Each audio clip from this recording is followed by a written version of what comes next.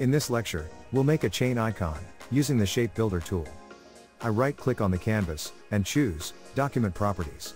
Behind Orientation, I click on Landscape, to rotate the document 90 degrees. I click on the Rectangle tool, and drag a rectangle. I will hide the stroke, by shift clicking on the red cross. I round the corners. To create a hole, let's try duplicating the rectangle. I make the duplicate green. I press shift plus control, and make the rectangle smaller.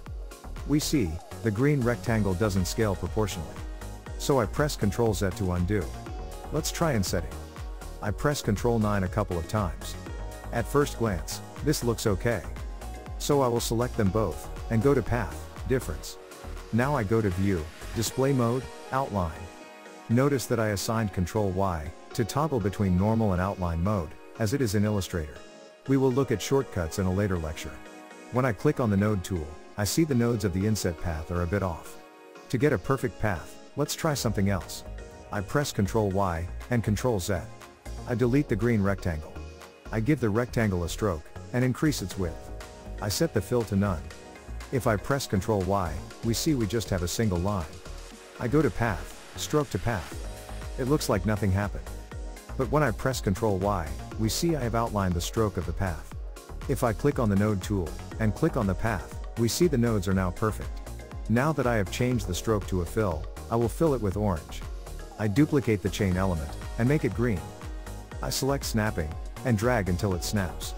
I select both elements, and click on the Shape Builder tool. When I drag, I see I get an unwanted connection. So I press on the X, and go to Path, Fracture. I click on the Shape Builder tool again. I keep my mouse pressed down, and drag to connect some parts of the right chain. Then I let go of the mouse. Now I also drag over parts, of the other chain. I click on Finish.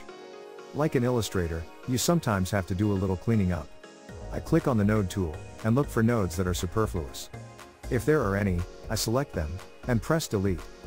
I will give the chain a stroke. And I remove the fill. When I scale the icon, I see the stroke doesn't scale with it. The reason is, that proportional stroke scaling is not selected, which normally is what I want.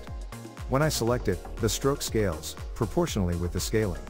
The best solution however, is to outline the stroke, as we did before. Regardless whether stroke scaling is activated, the chain can now be scaled, to any size.